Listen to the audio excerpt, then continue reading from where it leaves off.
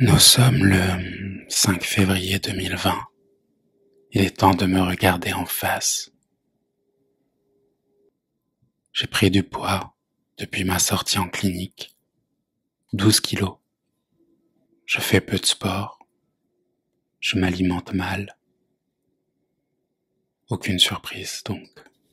Je pense que il est temps de, de voir les points mon rapport à chaque partie de mon corps, lesquelles je tolère, lesquelles j'apprécie et lesquelles il me faut encore accepter.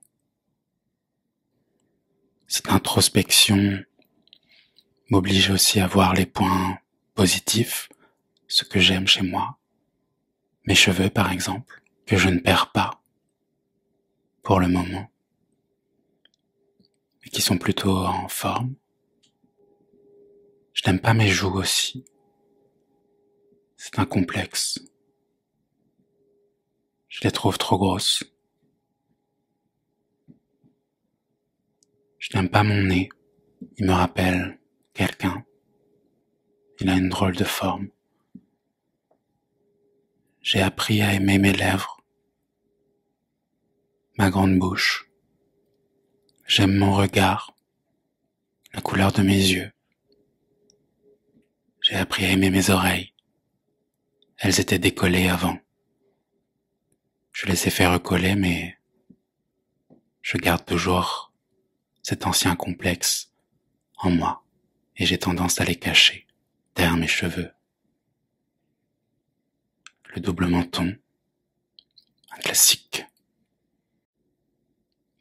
mes petits boutons, ma peau rugueuse, sur les bras, mes nombreux grains de beauté dans le dos. J'aime mes mains. J'ai des longs doigts, assez fins. Peut-être un jour me mettre au piano. J'aime mes jambes aussi, assez fines.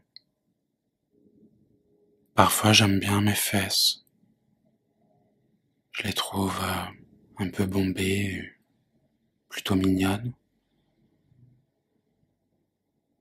Et parfois je les trouve euh, tristement plates. Je n'aime pas trop mes pieds. Je chose du 44. Parfois j'aimerais avoir des plus petits pieds. Mais je ne sais pas trop pourquoi. Ma bite, symbole important chez certains mecs. Je crois que ma bite euh, me plaît.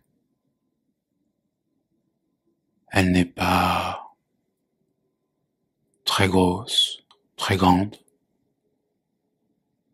mais elle m'a jamais posé problème.